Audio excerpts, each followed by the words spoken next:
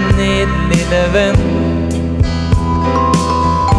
Eventyret er over. Sug på totten din, du, og sov godt.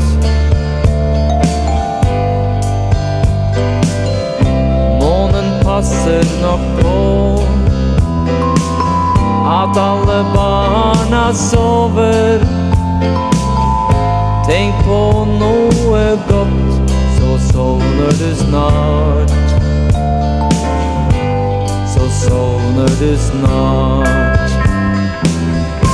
Og når du våkner opp igjen i morgen Og sola smiler glad sitt varme smil